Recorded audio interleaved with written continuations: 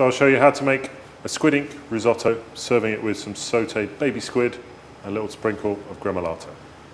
So we start by finely dicing shallots and some garlic. So cut the shallot in half, very thin slices lengthways, one cut that way, and then very fine dice. I'm going to finely dice the garlic.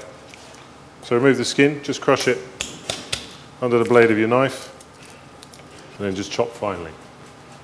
Then to make the gremolata, what we need to do is finely chop some lemon zest. So with a peeler, just get the zest off the lemon.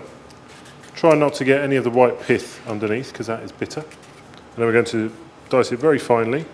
Then gather it all together, chop the other way into very fine dice. Next we're going to very finely chop the curly parsley. So just pull the leaves off. And we're just going to keep chopping through it until it's super fine.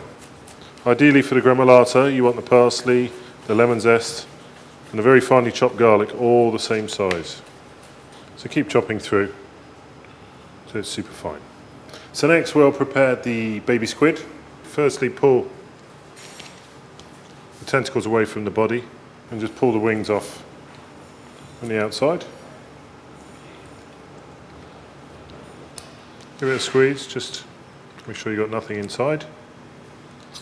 Cut the body into rings, cut the tentacles off, and just make sure the squid's mouth isn't still inside. So our standard ingredients for a risotto, shallots and garlic, I'm going to sweat them off in some butter. Then we've got arborio risotto rice, you can use carnaroli if you want, some white wine, some salt and some stock. Today I'm using fish stock. So we start by sweating the shallots off. So on a medium heat, a couple of pieces of butter, add the shallots. So let these sizzle away, add some salt. After a couple of minutes you can add some garlic. Again, just cook that out for a minute or so. Next, the rice goes in. Again, just give that a stir. What we want is for the, the rice just to start cooking in the, in the butter. And then you add the white wine.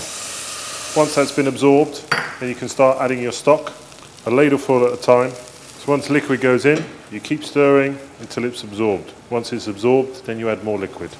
Good creamy risottos have been stirred continually for the 15 to 20 minutes that it takes to cook it.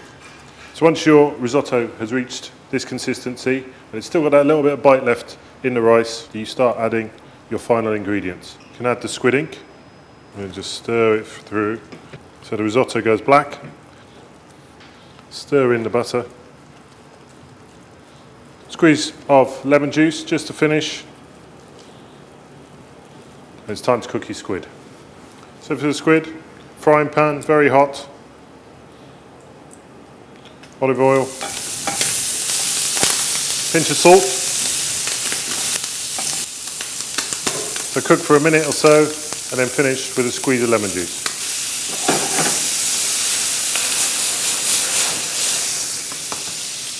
It's time to plate up. So firstly mix together the ingredients for the gremolata. The lemon zest, parsley, and finely diced garlic.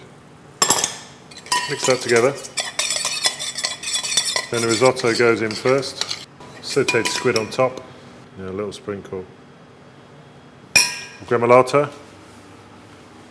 A drizzle of olive oil just to finish. So there we have risotto nero with sauteed baby squid and a sprinkle of gremolata.